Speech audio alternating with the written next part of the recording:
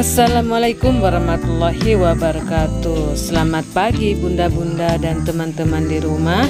Apa kabarnya? Semoga sehat walafiat tanpa kekurangan sesuatu apa pun.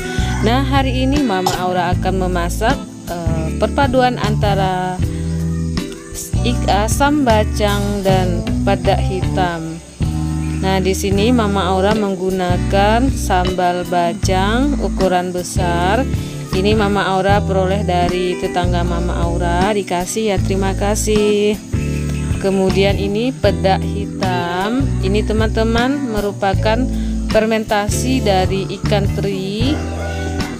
Ikan teri basah ya yang segar difermentasi jadi pedak hitam.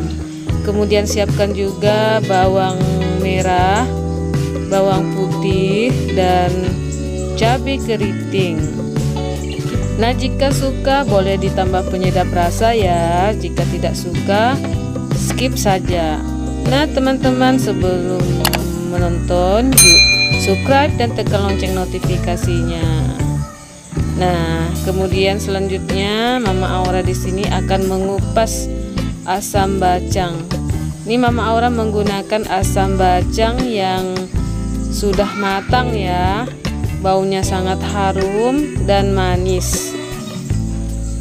Asam bacang ini uh, lagi musim di tempat Mama Aura. Jadi uh, Mama Aura bikin ini saja. Tentunya sehat dan enak. Nah teman-teman bunda ini setelah kita kupas bersih dan sudah dicuci bersih kemudian saatnya kita cincang ya bunda e, jika teman-teman atau bunda punya alat pencincang lainnya boleh saja. Sini mama Aura karena dengan cepat jadi mama Aura langsung saja cincang pakai pisau ya. Cincang kemudian kita iris. Lakukan bunda sampai selesai.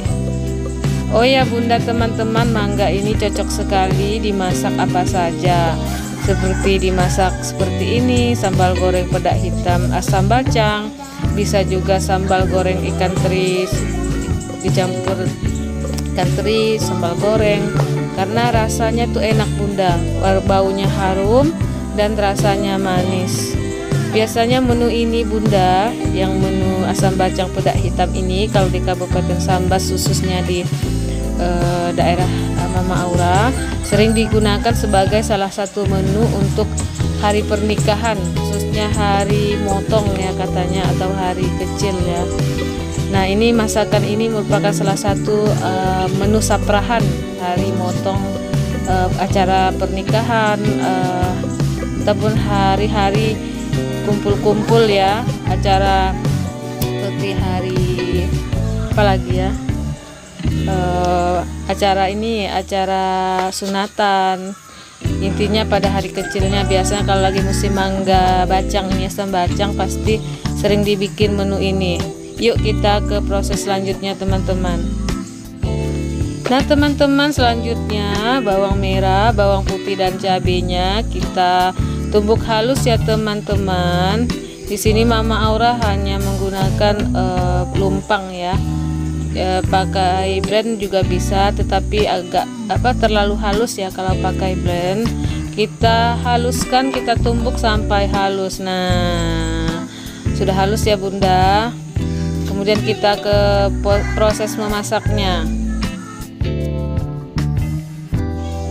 Nah kemudian bunda kita panaskan minyak goreng secukupnya. Biarkan sampai benar-benar panas lalu kita masukkan bumbu-bumbu yang telah kita haluskan tadi ya.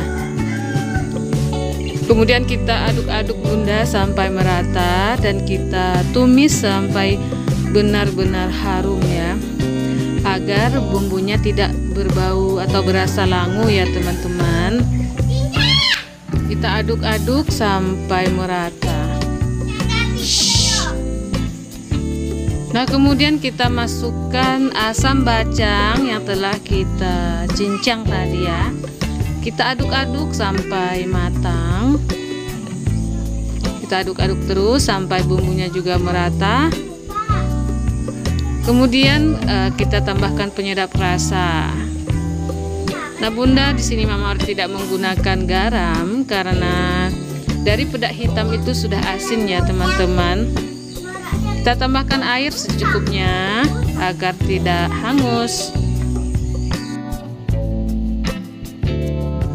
Jika sudah dicukup uh, matang ya, kemudian kita masukkan pedak hitam.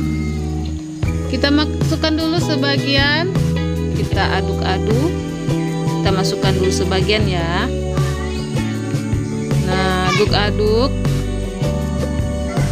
sampai merata ya. Kita aduk-aduk terus.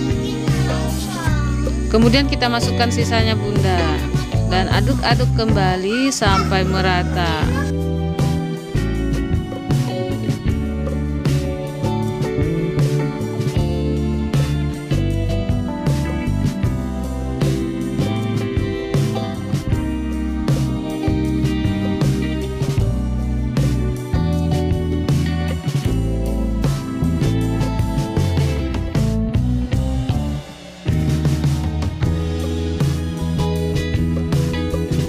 Sepertinya masakan kita hampir matang bunda. Nah saatnya kita matikan kompornya ya. Dan yang terakhir kita lakukan plating. Nah kita plating di atas mangkok. Ini enak sekali bunda Untuk makan siang sarapan pagi. Oh makan ini nambah terus bunda. Dijamin deh. Yang belum pernah makan sekali makan ini pasti suka Nah demikian bunda tutorial kita pada hari ini. Semoga bermanfaat. Jangan lupa subscribe, like, share. Sampai jumpa di video Mama Aura selanjutnya